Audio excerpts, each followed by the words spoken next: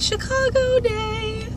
I'm so excited. It's about 7.30 now. We're supposed to get there by, well, they want us there at 7.45, but the bus leaves at 8. So, Mirella and I are going to, we're leaving at the same time. Well, she's probably gonna get there before me because I'm vlogging, but oh well. Uh, hopefully I'll be able to vlog a little bit. I know Mirella's okay with it, but her friend's supposed to be joining in with us or something. I don't know.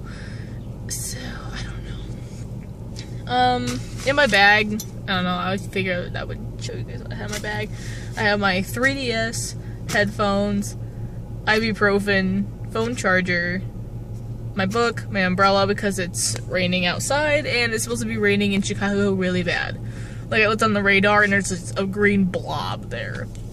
But it should be done by like 2, 3. Well, the afternoon anyway. And I also have, what else do I have in there? My wallet.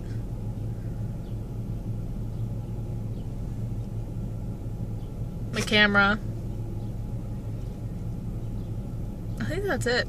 So, yeah, not much, but it's just bulky because I have my book in there, but I think I'll leave my book on the bus. So it's not as heavy and bulky when we're shopping. So, yeah, I'm excited.